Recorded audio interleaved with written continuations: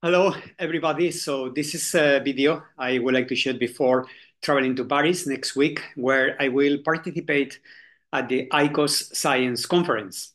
So uh, here I have been checking today the amazing program for next uh, next week's in uh, conference in Paris. Uh, for those of you who are not familiar with uh, ICOS, ICOS stands for Integrated Carbon Observation System.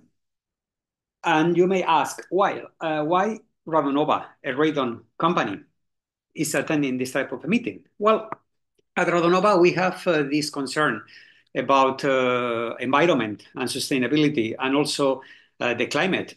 So therefore, uh, last year we reached an agreement, uh, a license agreement with researchers from University of Barcelona to produce and to commercialize the instrument ARMON, Atmospheric Radon Monitor.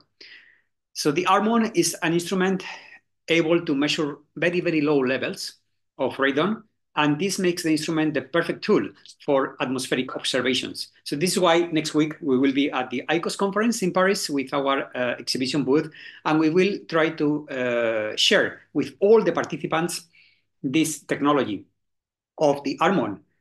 But on top of that, uh, we will also uh, attend the conference in order to learn much more uh, about the amazing group of researchers working at the ICOS community. So uh, this is a new field for us, and we expect to have a fantastic exchange with our expertise on radon, and also we will learn and we will get a lot of inputs from the experts on these uh, carbon observation systems and also all the researchers on climate change and atmospheric observations.